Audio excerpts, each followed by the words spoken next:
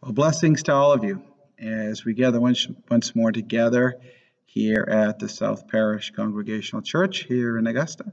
It's good to be with all of you. Uh, my name is Nathan Richards. I am the pastor here at the South Parish Congregational Church, and it's good to be with you all. Today is a very rainy and blustery day outside as we, or as I, uh, uh, videotape this, and it's good to be with you and to share with you. So let's begin on this windy and rainy day with a word of prayer. We thank you today, God, that we can come together in this time and share with you and with each other. We thank you for this opportunity uh, as a part of this midweek time, this midweek message, that we can come together and hear your word and share uh, thoughts together. We thank you, God, that in the a cool breeze of this fall season that we can find the warmth of your spirit waiting for us where we are and where we go. All in the name of our Lord and Savior, we pray. Amen. The gospel reading this, this week, as a part of the revised lectionary uh, readings for this week, and comes from Matthew's Gospel, the 21st chapter, verses 33 through 46. And here, Matthew tells or shares a message through a parable through Jesus' words, a message through Jesus' words that remind us uh, of the importance of recognizing who Jesus is in our lives. And it also talks a lot about rejection. And as a part of the story, uh, so often in Matthew's gospel, uh, the author quotes many words of scripture from the what we know as the Old Testament. And one of the quotes that he uses near the end of the reading is from Psalm 118. I thank you that you have answered me and have become my salvation. The stone that the builders rejected has become the chief cornerstone. This is the Lord's doing. It is marvelous in our eyes. Stones, rejection, marvelous in God's eyes. All these kind of images come to life and are put to life, really, um, through Jesus' words, taking them from the psalm and placing them as a part of the parable of the vineyard. So I would really offer to you to take time to read Matthew 21, verses 33 through 46, which is known as the parable of the vineyard. And really, at the heart of that message, and again, I I encourage you to read it. The heart of that message is rejection. The rejection of people or by people of Jesus and of God's plan. And how that can happen and what is the result of that happening. And as you certainly can imagine, the idea of rejecting Jesus, the idea of rejecting God's plan, really doesn't lead to a positive outcome. It didn't for the people that Jesus is speaking to, namely the, the nation of Israel, and particularly the leaders, the religious leaders of that time. And it doesn't lead to a positive outcome for us either when we reject the stone that God has provided for us to be the cornerstone of our lives. I guess one of the questions I'd like to kind of leave with you today and, and share with you is Have you ever been rejected? Have you ever felt rejected because of who you are? Because of your faith? Have you felt rejected because of your age? Have you felt rejected because of your beliefs? Have you felt rejected and, and pushed aside even perhaps for the color or because of the color of your skin or, or where you come from. Have you ever, ever felt rejection? This is really at the heart of, again, this message, at least for me, when I read it over in Matthew's Gospel and in other so many other places in the Bible. When we think about our Lord and we think about what he stands for and what his teachings are about, we recognize the importance of them, at least we should.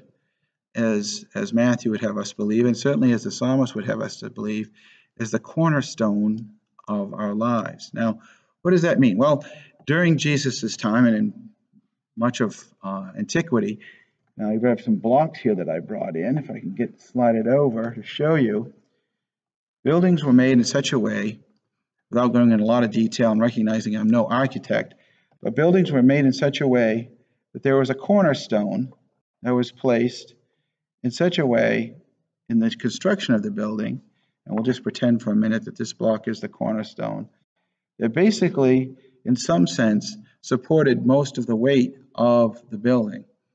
And as you can imagine, uh, that would be a very important stone to have in the building. And upon that cornerstone, in a sense, the rest of the building was constructed. So I'm trying to be clever here and construct a small building for you, remembering that this is the cornerstone. And upon that corner and that stone, the rest of the building and most of its weight at some point would rest.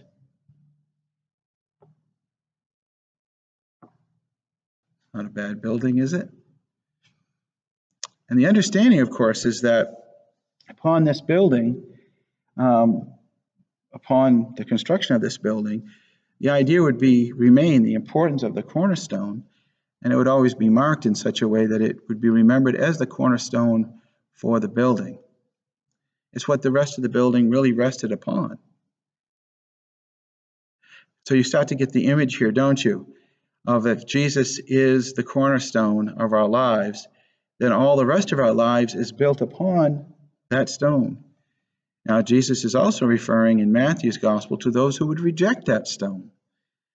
And as I've said, when we reject the cornerstone that is Jesus Christ in our lives, the rest of our, well, the rest of our body, the rest of our building, if you will, our temple, if you will, um, won't stand.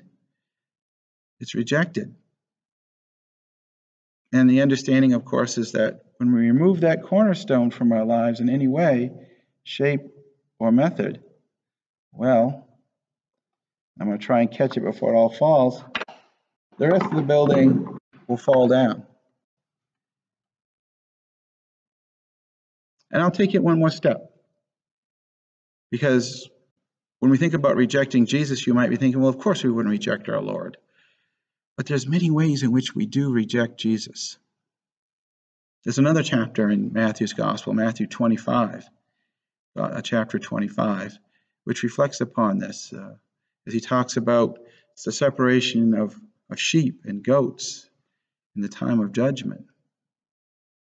And Jesus says, when you did it to the least of these, that is either something good or something harmful, and the least of these really representing almost all of us at one time or another. Jesus says, You did it to me. This is a very, very powerful and important statement because many of us find ourselves rejecting others and don't realize that by doing so, we're really rejecting God's kingdom and our Lord, who is our cornerstone. When we reject others, we are truly rejecting Jesus. When we reject others because of a different faith, a different belief, their age, where they come from, the color of a person's skin. In truth, we're really rejecting what Jesus stands for because, really, at the heart of the kingdom of God is love and care and compassion for other people and demonstrating that care and compassion and love each day to others, regardless of who they are, where they come from, their age, or any of the things I've mentioned. That's what the kingdom of God is built upon. I'm going to pick up one of the blocks that fell because I'm going to reconstruct my temple, um, us. As Jesus is the cornerstone, the rest of who we are is built upon him. And the kingdom of God begins to develop around that cornerstone that is Jesus.